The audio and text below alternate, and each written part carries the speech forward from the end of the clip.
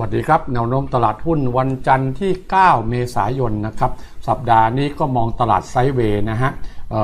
ตลาดคาดการณ์กันว่าการน่าจะมีการเจรจาเรื่องสงครามการการค้าเกิดขึ้นระหว่างโดนัลด์ทรัมป์นะฮะแล้วก็กับสีจิ้นผิงนะครับ ซึ่งอันนี้ก็คาดว่าทำให้ตลาดทุนทั่วโลกเกิดการ technical rebound เกิดขึ้นในสัปดาห์นี้ ส่วน เซตอินเด็กเราก็น่าจะรีบาวในกรอบแนวรับที่ 1,720 นะครับ ส่วนแนวต้านก็จะอยู่ 2 ระดับนะฮะ 1,760 กับกับ 1,780 นะฮะ ผ่านยากทั้งคู่ฮะ 80 นี่ 1780 คาดว่าไม่ผ่านนะครับ ส่วน 1760 ไม่แน่ใจครับ 50 50 50 ต่อ 50 นะครับ ส่วนตลาดหุ้นในวันศุกร์ของเราก็ สัปดาห์ที่แล้วก็ปรับตัวขึ้นไป 15 จุดนะฮะ อยู่ที่ 1,739 ต่างชาติขายสุทธิไป 1,200 กว่าล้าน แต่ว่าลองฟิวเจอร์สก็ไปนะฮะ ก็เรียกว่าถือว่าไม่ค่อยมีผลบทบาทอะไรก็แล้วกันนะครับ ตลาดก็เริ่มดิดกลับในวันศุกร์ขึ้นมาหลังจากที่ลงไปแตะต่ำสุดที่ 1,724 นะฮะ ขึ้นมาปิดที่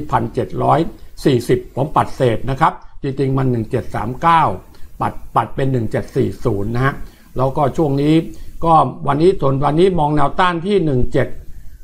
1750 1760 นะครับ ส่วนแนวรับก็ 1730 นะครับ แล้วก็ 1725 นะฮะ เป็นแนวรับ ส่วนหุ้นรายสัปดาห์ของเราสัปดาห์นี้นะครับก็เชียร์ทั้งหมดสัปดาห์นี้ก็จะมี CHG กับ Com7 นะฮะสองตัวนี้ก็โฮ ต่อจากสัปดาห์ที่แล้ว คือสัปดาห์ที่แล้วเชียร์ซื้อไปไม่ลงไม่ขึ้นฮะอีกตัวหนึ่งคือบางกอกแลนด์นะครับ ตัวนี้ก็มีการมีการซื้อหุ้นคืนนะครับแล้วก็ผลประกอบการไตรมาสหนึ่งคาดจะจอกมาดีนะฮะอีกตัวหนึ่งก็คือหุ้นทรูนะครับ แต่หุ้นทรูวันศุกร์ที่ผ่านมาพอเราเชียร์ไปก็ปิดไม่สวยฮะปิดลงปิดเกือบโลของวันนะฮะตามตัว Advance นะครับ ส่วนหุ้นเด่นรายวันเรายังมองหุ้นที่สามารถ ซื้อแล้วถือได้นะครับ เรามอง EA ฮะ EA ก็ซื้อ 32 บาทกับ 30 บาทนะฮะก็สะสมนะครับ แต่ถ้าขึ้นมาแถว 36 บาทก็ขายก่อนนะฮะ BCPG ซื้อ 18 17 นะฮะ ส่วนอมตะซื้อ 18 นะฮะหุ้นพวกนี้เรายังมองว่าถ้ามองไป 4-5 ปี แนวโน้มยังดีอยู่นะครับส่วนอมตะก็ซื้อเพราะว่า พรบ EEC ถึงแม้ยังไม่ประกาศช่วงนี้นะฮะแต่เราเชื่อว่า EEC นี่ยังไงก็ต้องใช้ พอใช้ปุ๊บเนี่ยอมตะซื้ออมตะราคาตรงนี้ก็เหมือนซื้อที่ดินนะครับอาจจะลงไปจากตรงนี้ไปบ้าง แต่ก็คิดว่า downside คงจำกัดละนะฮะตัวอมตะนะครับ ก็เลยเชียร์ EA BCPG อมตะนะครับ ส่วน SET fifty นะฮะ SET fifty ช่วงนี้ก็ technical rebound เหมือนกัน SET fifty ปิดไป 1147 นะครับ แนวต้านวันนี้ 1150 1158 นะฮะส่วนแนวรับ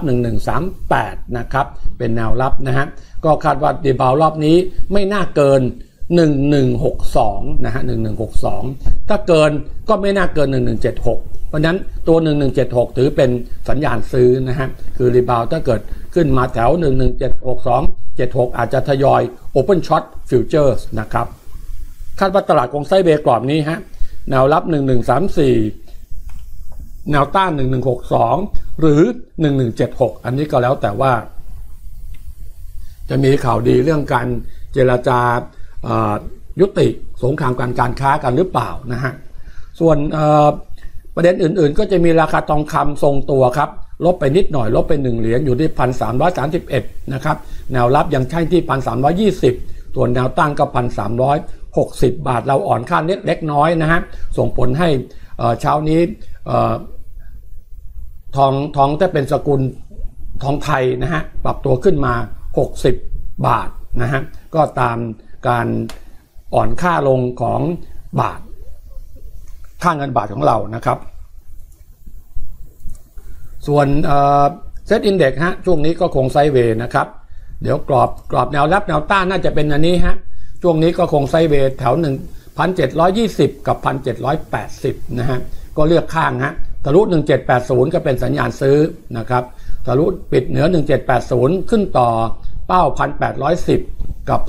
1850 นะฮะถ้าเกิดต่ำกว่า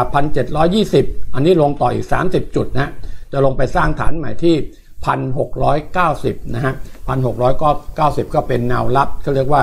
เป็นแนวรับของ long term up trend นะฮะ ส่วนหุ้นแนะนำเดือนเดือนเมษาพฤษภาหุ้นที่คาดกำไรดีนะฮะ ไตรมาสหนึ่งก็จะออกมาดี มีคอมเซเว่น IRPC โรบิน RS สยามฟิวเจอร์ แล้วก็ TVO นะฮะ TVO วันนี้เห็นข่าวหุ้นก็มีเชียร์เข้าไปนะครับหุ้นหุ้นเทคนิคดีนะฮะ ก็จะมีหุ้นใหญ่มีทรูมีบางกอกแลนด์ นะครับทรูบางกอกแลนด์ก็เชียร์ไปในวิกฤตโลจนะเซนเทลเซนเทลมีสัญญาณซื้อ BDMs ช่วงนี้กลุ่มธนักกลุ่มโรงพยาบาลแข็งแรงฮะที่เราชอบก็จะมี BDMs BCH แล้วก็ CHG นะฮะสามตัวฮะวันนั้นหุ้นที่เทคนิคดีก็จะมีสารตัวนี้โผล่เข้ามาด้วยนะฮะ ส่วนหุ้นแนว VI ก็เป็น SCB ทหารไทย อมตะ SCB ตอนนี้ก็ราคา new low ในรอบ 2 ปีนะฮะทหารไทยอมตะ JWD ตัวนี้ก็ลงมาเยอะเหมือนกันนะครับ CK STEC ลงมาเยอะ อีกตัวหนึ่งคือพฤกษาโฮลดิ้งนะฮะอันนี้ก็เป็นภาพของราคาน้ำมันในตลาดโลกครับเมื่อคืนนี้ลงไป 1 เหรียญ30 เซนต์ตอนนี้มาแตะ WTI มาแตะแนวรับ 62 นะ คาดว่ารับไม่ได้นะฮะ คาดว่าต้องลงมาแถว 60 นะฮะ แล้วก็เบรนท์เองก็ลงมาแตะแนวรับแถว 67 นะฮะในเช้าวันนี้ ก็ราคาทองคำทรงตัวนะครับ ทรงตัวนะฮะแนวรับ 1,320 กับ 1,305 แนวต้านกับบริเวณนี้ครับ 1,360 นะฮะ SET index ของเรานะครับ SET index เห็นว่าพอปรับลงมาแล้วนะครับSET index เดี๋ยวเดี๋ยวไปดูหุ้นก่อนนะฮะเดี๋ยวค่อยมาดูเซตทีหลังปตทครับปตทก็แนวรับระวังตรงนี้ฮะ 530 ถ้าหลุด 530 ก็ลงเยอะนะครับ อย่าให้หลุด 530 นะครับสำหรับปตทขึ้นอย่างแนะนำขึ้นไปขายนะฮะ อย่าไปมองโลกหรู อย่าไปมองว่า split พาร์แล้วหุ้นจะไป 600 นะครับ ตอนนี้มองโลกร้ายไว้ก่อนนะครับสอพอเองก็แนวต้านประมาณ 115 นะครับ แนวรับประมาณ 111 นะครับ ถ้าหลุด 111 ก็ลงแรง หุ้นพวกนี้ไม่ให้ซื้อฮะ ที่เชียร์ไปก็ไม่ให้ซื้อละครับนะผมคิดว่า ตอนนี้ถึงแม้ผลประกอบการไตรมาสแรกดี แต่ว่าเซนติเมนต์ตลาดเป็นขาลงพอเป็นขาลงเนี่ยผมคิดว่านักลงทุนกลัวติดยอดดอย มากกว่าที่กลัวกลัวหุ้นจะแรลลี่นะฮะก็เรียกว่ากลัวกลัวไปซื้อแล้วเออก็เรียกว่าไปรับของรับของเสียจากกองทุนนะฮะหัวซื้อแล้วกองทุนถล่มขายครับ เพราะว่าเจอมาหลายดอกนะฮะเจอมาตั้งแต่ EA BCPG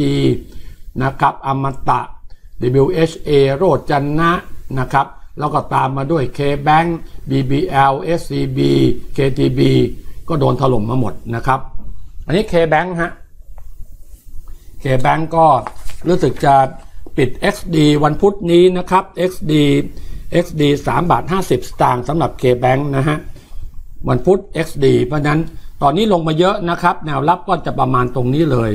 190 เราจะเห็นว่า K-Bank ลงมาแรง RSI เนี่ยต่ำกว่า 20 เพราะนั้นจากจุดนี้พร้อมจะเกิดเทคนิคอลรีบาวนะฮะคือพร้อมดิดกลับนะนะครับเพราะนั้นแนวรับแถว 190 อันนี้นิวโลในรอบ 1 ปีสำหรับ K-Bank นานๆ ก็จะเห็นแบงก์ลงแรงแรงแรงทีหนึ่งครับเป็นเกิดจากการที่ลดค่าฟรี แข่งขันลดค่าฟรี แข่งขันในการเตรียมปิดปิดสาขานะฮะ ซึ่งต้องปิดเร็วนะฮะปิดช้าไม่ได้ครับ ตอนนี้แบงก์ใหญ่ถือว่าเป็นแบงก์ที่อุ้ยอ้ายนะฮะทำอะไรก็ลำบาก เพราะว่าอุ้ยอ้าย สาขาเยอะเกินไป ต้องปิดสาขานะครับ ใครเร่งปิดก็คือก็คือโอกาสชนะจะมีมากขึ้น ใครปิดช้าก็แย่นะฮะเพราะนั้นอันนี้ก็คงต้องปิด ผมคิดว่าใน 3 ปีต้องปิดอย่างน้อยครึ่งหนึ่งแบงก์ใหญ่ตอนนี้มีสาขาอยู่ แต่ละแบงก์ก็มีสาขาอยู่ประมาณ 1,200 แห่ง ทั่วประเทศนะฮะเคแบงก์มีพันอาจจะกว่านั้นหรือน้อยกว่านั้นนิดหน่อยนะครับพวกพวก BBL K Bank SCB นะครับพวกนี้ต้องปิดสาขาลงนะฮะต้องทำให้เล็กลงนะครับเล็กลงหรือว่าถ้าไม่ปิดสาขาก็ทำเป็นรูปแบบของเขาเรียกว่าเป็น wealth center นะฮะเป็นเป็นธนาคารที่ใช้ในการ consult นะฮะ ในการที่ลูกค้าจะมานั่งทานกาแฟแล้วก็ให้ consult ให้เกี่ยวกับเรื่องอะไรมากกว่า ที่จะเป็นธนาคารที่มีการเปิดการซื้อขายแบบทุกๆวันนะฮะ SCB ก็ new low ในรอบ 2 ปีนะฮะหุ้นพวกนี้พร้อมกับ technical rebound ครับหุ้นพวกนี้ตกมาเยอะก็แปลกๆเหมือนกันนะครับจะเชียร์ซื้อก็ไม่ค่อยกล้าฮะมันตกมาตลอดนะฮะอย่าง ANAN นี่สังเกตนะครับ พอลงมาต่ำกว่าเส้น 25 วันนะฮะอันนี้ขึ้นไปพอไม่ เพอต่ำกว่าเส้นแดงเนี่ยอันตรายฮะเส้นแดงคือเส้นค่าเฉลี่ยเคลื่อนที่ห้าสิบวันนะครับสังเกตว่าพอต่ำกว่าปุ๊บโอ้โหลงลงแบบไม่รู้เรื่องเลยนะครับลงแบบไม่รู้เรื่อง ถามว่าหุ้นตัวนี้สัญญาณขายเกิดเมื่อไหร่ เกิดตอนนี้นะฮะตรงนี้ต้องล้างพอร์ตฮะต่ำกว่า 5 บาท 5 บาท 70เวลาที่หลุดเส้นนะฮะหลุดเส้น 25 วันเนี่ยเขาล้างพอร์ต แล้วถ้ายิ่งหลุด 25 วันแล้ว 50 วันด้วย อันนี้ล้างเลย นะครับล้างเลยตรงนี้ขึ้นมาขายขายเพิ่ม หลังจากนั้นก็ไม่ซื้ออีกเลยนะครับลองดูไทยคมฮะหลุด25วันหลุดจากตรงนี้ฮะขายไปตั้ง16.5นะครับตัวนี้ทะลุขึ้นมาซื้อคืน ตรงนี้ทะลุลงล้างพอร์ตอีก ตรงนี้ขึ้นมาซื้อคืน ตรงนี้ขึ้นมาล้างพอร์ตอีก นิวโลฮะนะครับเพราะนั้นพอเล่นขาลงนี่เล่นยากฮะเวลาขาลงดูเส้นสองเส้นนี้ สองเส้นนี้ถ้าโค้งลงคือขาลงฮะขาลงสัญญาณซื้อไม่แม่น สัญญาณขายแม่น สังเกตเกิดสัญญาณขายตกตกเยอะ เกิดสัญญาณคือซื้อขึ้นน้อย เกิดสัญญาณขายตกเยอะ เกิดสัญญาณซื้อขึ้นน้อย เกิดสัญญาณขายตกเยอะนะครับ อันนี้ก็ทวนทวนที่เคยสอนไปนะฮะแล้วก็ทฤษฎีของผมนี่ตั้งเองด้วยนะครับ ไม่มีตำราในโลก นะฮะบางท่านฟังแล้วก็ตกใจมีตั้งเอง ผมตั้งเองฮะแต่ว่าแม่นนะฮะใช้มาตลอดครับนะครับ อันนี้ก็ซุปเปอร์นะฮะเห็นว่าออพอหลุดหลุดสองเส้นยี่ห้าวันห้าสิบวันล้างพอร์ตทะลุขึ้นซื้อ หลุดทั้งหมดอีกล้างพอร์ตสังเกตทะลุขึ้นไปไม่ไกลฮะทะลุลงลงเยอะ เห็นไหมฮะ แล้วก็หลังจากที่ขายตรงนี้ยังไม่ซื้อเลยนะครับซูเปอร์ฮะทั้งที่มีข่าวอะไรก็ตามนะฮะถ้าเราไปดูสามเดือนย้อนหลังข่าวในข่าวหุ้นนี่ประโคมกันจังเลยนะฮะไปลงทุนในญี่ปุ่นบ้างอะไรบ้างนะครับ ปรากฏว่า โอ้โห ไม่รู้จะพูดอะไรฮะถามว่าโอเวอร์โซไหมซูเปอร์โอเวอร์โซฮะเป็น bearish ด้วยนะครับ SCN อันนี้เหมือนกันฮะ เกิดสัญญาณขายลงนะฮะแล้วก็หลังจากนั้นไม่เคยเกินเส้นเส้นแดงนี่เลยฮะสองเส้นนี้เป็นขาลง นี่แหละครับ ทฤษฎีที่เรียกว่า ถ้าหุ้นเป็นขาลงแล้ว สัญญาณซื้อ ไม่แม่น หรือแม่นแล้วไปไม่ไกล สัญญาณขายแม่น คือเวลาเกิดสัญญาณขายตกเยอะ เพราะนั้นหุ้นกลับกันฮะถ้ารอเป็นขาขึ้น รอเป็นขาขึ้น สัญญาณซื้อแม่น สัญญาณขายไม่แม่น สัญญาณคือซื้อก็จะก็จะไปมากกว่าช่วงที่มันตกนะครับเพราะนั้นอพอพอตลาดหุ้นเริ่มเป็นขาลงรายใหญ่เขาจะเลิกเล่นฮะเลิกเล่นเพราะว่าโอ้โหสัญญาณซื้อก็ไม่แม่น ซื้อไปก็เป็น unfulfilled target คือเวลาเขาเกิดสัญญาณซื้อก็จะมีการวัดวัดเป้านะฮะเป็น unfulfilled อีกพอเป็น unfulfilled ก็ก็ไม่เล่นฮะเพราะนั้นอันนี้ เราเห็นว่าช่วงนี้เนี่ยถึงแม้สัปดาห์นี้ผมเชื่อว่าพวกรายใหญ่ ๆ ไม่เล่นหุ้นฮะไม่เล่นหุ้น ถ้าเล่นก็คงเล่นแก้เหงานะครับ ก็คือซื้อนิดหน่อยขายแล้วก็ขายเลยกำไรก็ขายเลยนะฮะแต่ถ้าคนที่เก่งๆบางทีเขาก็ออกไปเลย ไปเที่ยวละนะฮะอีกอีกสองตัวฮะที่ตกเยอะๆกันกุลฮะอันนี้ตกเยอะเหมือนกัน โอ้โหลงไม่รู้เรื่องเลยฮะสังเกตเวลาเล่นหุ้น เวลาที่ สองเส้นนี้โค้งลงนะฮะเล่นยากสองเส้นนี้โค้งลงเล่นยากเห็นไหมฮะอันนันขึ้นมาโดนสองเส้นนี้ถล่มลงมาตรงนี้เลยสิบบาทกันกุลนี่เข้าใจว่าต่ำสุดในรอบสี่ปีนะฮะอันนี้มาดูตัวดีๆบ้างนะครับ ดูตัวร้ายมาเยอะ มิ้นฮะเริ่มเกิดสัญญาณซื้อตัวนี้ก็กลุ่มตกมาเยอะเหมือนกันนะฮะกำไรไตรมาสหนึ่งไม่ค่อยดี แล้วเกิดสัญญาณซื้อรอบนี้ ถ้าขึ้นไปก็ประมาณ 40 บาท ไปไม่เยอะฮะ นะครับเซนเทลเกิดสัญญาณซื้อฮะไปรอบนี้ก็ครึ่งหนึ่งฮะห้าสิบสี่ก็ไปพอสมควร อันนี้ก็น่าซื้อเหมือนกันนะฮะเซนเทลอันนี้ก็ส่วนหุ้นที่เรามองระยะยาวหน้าซื้อก็จะมี EA EA ก็มี 2 ระดับนะฮะ32.5กับ30นะครับทยอยซื้อ2ตรงนี้ EA นะฮะอันนี้ก็อมตะครับนะฮะอมตะแถว18นะครับ